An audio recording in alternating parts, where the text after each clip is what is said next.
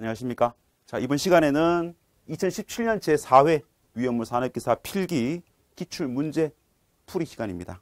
자, 1번부터 보겠습니다. 자, 1번에 금속의 특징에 대한 설명 중에서 틀린 것은 무엇인가 했습니다. 자, 금속은 고체 금속은 연성과 전성이 있다. 자, 펴지거나 하는 성질이 있다는 뜻이죠. 맞습니다. 고체 상태에서 결정 구조 형성한다. 역시 맞는 말이고요. 반도체, 절연체에 비해서 전기의 전도도 전기가 전달되는 유리입니다. 크다. 금속은 당연히 전기도 크다, 크다. 맞습니다. 자, 네 번째 보시면 상온에서 모두 고체이다 그랬죠.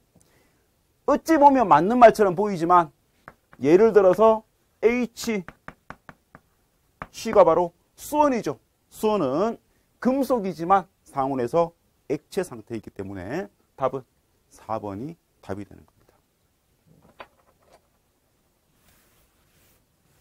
자, 이번 문제는 OH라고 하는 수산기의 대괄호 농도 말하는 거죠. 자, 농도가 10의 마이너스 5승이라고 했습니다. 자, 그리고 pH와 X승으로 옳은 것을 물었죠. 자, 일반적으로 만약에 염산처럼 HCl 화학식입니다. 자, 이렇게 H를 가지고 있으면 수소의 이온 농도를 봐야 되고요. 그 다음에 NaOH와 같은 물질의 경우에는 여기 OH입니다. 자, NaOH의 경우에는 OH가 들어있으니까 수산기가 들어있으니까 이럴 경우에는 수산기의 농도를 봐야 됩니다. 그런데 지금의 경우 자 근데 일단 H이온을 가지고 있으면 보통 pH를 구할 수밖에 없고 OH를 가지고 있으면 POH를 구할 수밖에 없는데 지금 문제는 OH를 제시를 하고 pH를 물었단 말입니다.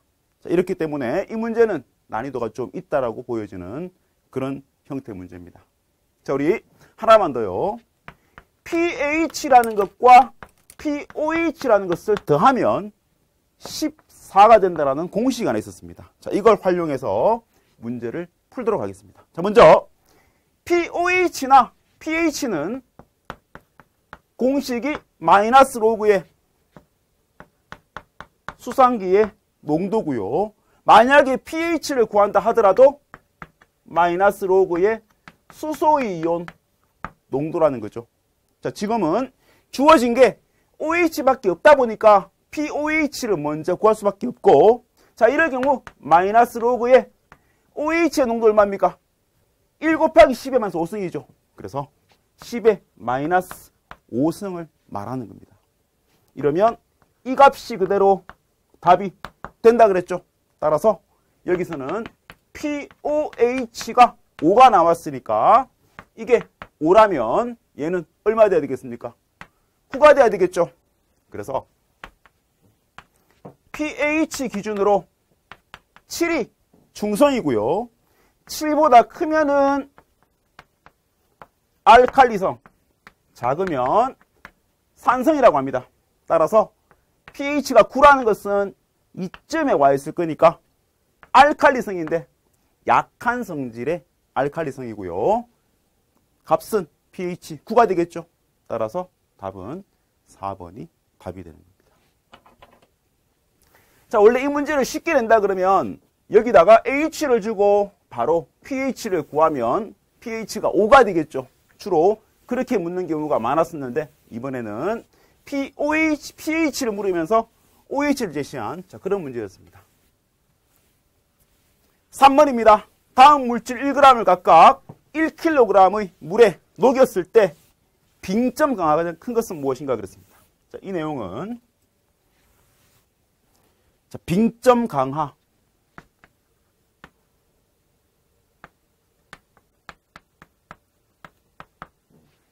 강하라는 뜻은 어, 떨어진다라는 뜻이죠. 근데 어, 얼마만큼의 차이로 떨어진다. 이런 뜻을 가지고 있는데요. 공식은 델타 T는 MA분의 1000W 그리고 상수값입니다. KF라 그래서 자, 이 공식을 이용을 하면 되는데요. 여기서 M이라는 것과 W라는 것이 뭐냐 하면 자, M은 용질의 분자량이고 W는 용질의 질량입니다. 그리고 소문자 A는 용매의 질량입니다. 자, 이때 원래 시험 문제들은 델타 T를 구해보세요라는 질문을 많이 했었지만 지금은 그걸 묻는 게 아니라 똑같은 물질 1g을 각각 1kg의 물에 녹였을 때 빙점 강화가 큰 것은 무엇인가? 자, 이것이 가장 큰 것은 무엇인가 물었습니다. 그렇다면 조건은 또 다른 상수값도 없고 용매 실량은 나와 있지만 계산할 필요 없습니다. 자, 이게 뭡니까? 용질에 이 복이 나와 있는 녹이는 물질들이 되겠죠. 용질의 분자량이 분모에 있네요. 그러면 빙점 강화 델타 T하고의 비교해서 M이 분모에 있으니까 이 빙점 강화하고는 어떻습니까? 반비례 관계죠. 따라서 빙점 강화가 크다고 한다는 얘기는 분자량이 작을수록 얘는 더 커지겠죠. 결론은 뭡니까? 보기 4개 중에서 분자량 제일 작은 것이 답이 되겠죠. 자, 1번에 메틸알코올인데요. 메틸알코올은 탄소 12 더하기 수소는 4개 있네요. 산소 1개 있으니까 더하면 어, 32가 됩니다. 다음 에틸알코올은 46이 되고 자 그리고 이 문제의 답을 맞추기 위해서는 굳이 분자량을 다 구할 필요가 없죠.